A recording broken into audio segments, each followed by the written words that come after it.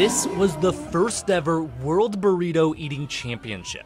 Competing was the man many consider the greatest eater of all time, Joey Chestnut, who has 55 world records to his name and won the Nathan's hot dog eating contest 15 times. The rules of the competition are simple. Eight contestants try to eat as many Qdoba burritos as possible in 10 minutes.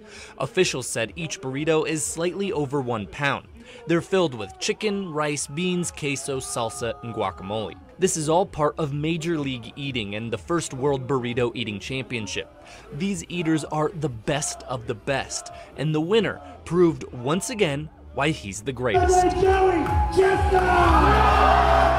He ate 14 and a half burritos in 10 minutes. That's one burrito every 41 seconds. In total, all those burritos weighed about 16 to 17 pounds.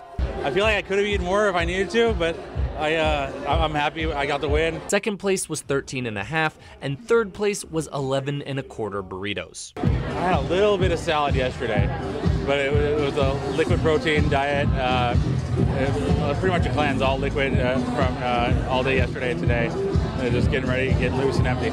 Not everybody competing today was a professional. One guy was basically just on his lunch break.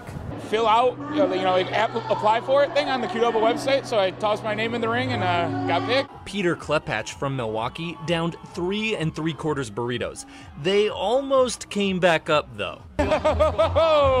I thought uh, I thought I was going to humiliate myself in front of a big crowd here, but uh, was able to drink some water, keep it down, and yeah, keep it going.